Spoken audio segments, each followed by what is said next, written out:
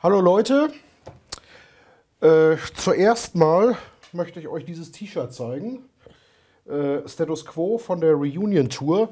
Ich war leider nicht da. Holger kommt aber gerade aus London zurück, war äh, bei der letzten Show in der Wembley Arena und hat mir dieses T-Shirt hier geschenkt. Darüber lest ihr allerdings erst im nächsten Heft. Es gibt natürlich auch eine Story dazu. Äh, in diesem Heft lest ihr dagegen nichts von Status Quo. So, das war's. Bis zum nächsten Mal. Kleiner Scherz, aber große Wirkung. Äh, wir blättern das neue Heft durch und stolpern über den Papst, aber nicht über den Papst, den äh, wir die letzten Wochen so immer vorgesetzt bekommen. Dann geht es weiter mit Slayer, die Lombardo rausgeschmissen haben, Orchids neuem Album, Turisas, das sind alles News, die möchte ich hier natürlich nicht vorwegnehmen. Jesper Binzer, Binzer, DAD, ist im Schwatzkasten diesen Monat. Und äh, wie der Zufall es so will, ist die Band auch gerade als äh, ein Co-Headliner für die drei Rockhard Festival Tage bestätigt worden. Äh, und zwar erstens deshalb, weil sie beim letzten Mal gigantisch angekommen sind und zweitens, weil die Band diesmal ihre volle Show mitbringt. Ähm, volle Show bedeutet, da wird jede Menge Krempel auf der Bühne stehen. Und genau deshalb können die AD auch nicht am selben Tag wie King Diamond spielen, denn da steht auch jede Menge Krempel auf der Bühne. Äh, damit habe ich euch jetzt schon verraten, dass. Äh, ähm, nee, habe ich eigentlich gar nicht. Obwohl doch, wer zwei und zwei zusammenziehen kann und die Tagespreise, die Tagesticketpreise checkt, der weiß natürlich, dass King Diamond am Sonntag spielen wird und äh, der weiß dann jetzt auch, dass DAD der Co-Headliner des Samstags sind. Ähm, das volle Billing gibt es aber erst in, ähm, ja, hoffentlich ein, zwei Wochen auf unserer Homepage zu sehen.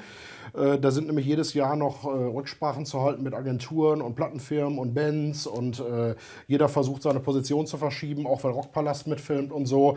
Das ist nicht immer ganz so einfach, ähm, aber irgendwann puzzelt sich das alles zusammen und dann präsentieren wir euch das auch. Ach, und es fehlen ja auch immer noch zwei große Bands. Es fehlt immer noch ein Headliner, nämlich der Samstags-Headliner und es fehlt auch der Sonntags-Co-Headliner. So, das war es in Sachen Festival. Volbeat sind Titelstory diesmal geworden. Ähm, haben sich gegen zwei, drei andere Konkurrenten durchgesetzt. Wir machen hier mal eine Abstimmung und setzen uns mit der Redaktion zusammen und äh, dann entscheidet letztlich auch, ähm, wie viele echte Fans eine Band bei uns in der Redaktion hat. Also weniger, ob wir glauben, dass das Thema äh, jetzt gerade ähm, besonders toll vom Timing her in die Charts passt, sondern es geht dann also tatsächlich auch darum, wer macht die Story, wer füllt die Story mit Inhalt. Diesmal war es Frank, unser Frank. Und Frank hat sich durchgesetzt und hat also äh, genügend Ideen für Volbeat präsentiert, sodass wir gesagt haben, okay, wir Titelstory. Dann geht es weiter mit Avantasia von Jens Peters. Äh, Quälertag, auch sicherlich eine Band der Stunde, kann ich auch äh, äh, ruhig hier offen sagen, dass das auch ein Alternativthema für den Titel war. Und weil Quälertag es nicht auf den Hefttitel geschafft haben, haben sie es auf den App-Titel geschafft. Und die App kommt demnächst.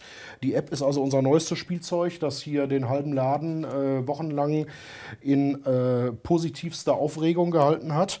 Und die App ist jetzt fertig und wird euch über andere Kanäle äh, jetzt auch in Kürze vorgestellt. Wir haben sie heute Probe geguckt, die App, und waren eigentlich alle begeistert.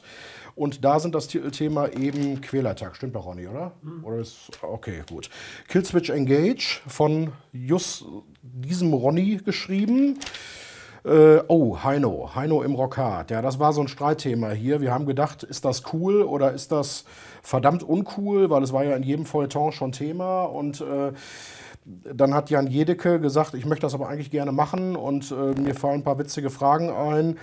Und äh, ich habe die Story also mit großem Interesse gelesen und ich habe auch zwei, dreimal richtig laut gelacht. Ich hoffe, das geht euch genauso. Dann geht es weiter mit Hypocrisy, natürlich von Frank, von wem sonst. Cannibal Corpse, Jubiläumsgeschichte, natürlich von Frank, von wem sonst. Dann Metal in Indien von unserer Leserin. Ähm, Bettina King aus dem Schwabenländle, geboren 1967, Yogalehrerin, geschrieben. Die hat uns also, das ist diese Bettina, äh, oft kommen diese Ideen mit den Länderspecials von euch, von Lesern, die uns also eine Idee schicken und sagen, ich bin da und da im Urlaub und ja, die machen dann also diese tollen Specials draus, die immer gut bei euch ankommen. Dies ist auch sehr interessant. Dann Buck Cherry, unser Album des Monats Thema. Oh, dann haben wir hier eine neue Serie von äh, Rubriken im Heft. Wir wollten das Heft ein bisschen auflockern, nicht immer nur Story an Story ähm, gliedern, sondern auch äh, so ein bisschen Magazincharakter reinbringen. Boris Kaiser hat jetzt seine eigene Kolumne, die nennt sich Captain Hook. Äh, abgeleitet von seiner Perle des Plüschs, die jetzt immer da auftaucht. Dann hat Rense natürlich sofort äh, Theater gemacht und eine Dr. Prock-Seite eingefordert. Die hat er auch bekommen.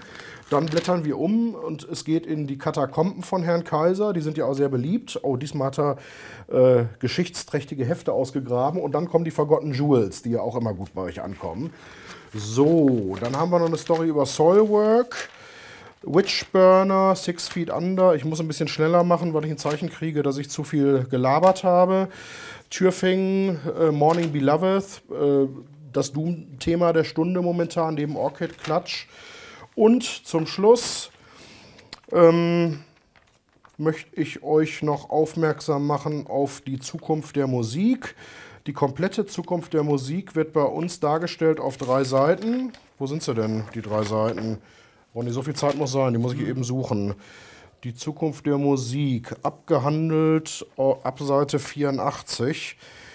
Äh, es, ihr wisst ja, dass das eine Serie ist. Holger hat diese Serie ja gestartet mit der Diskussionsrunde im letzten Heft.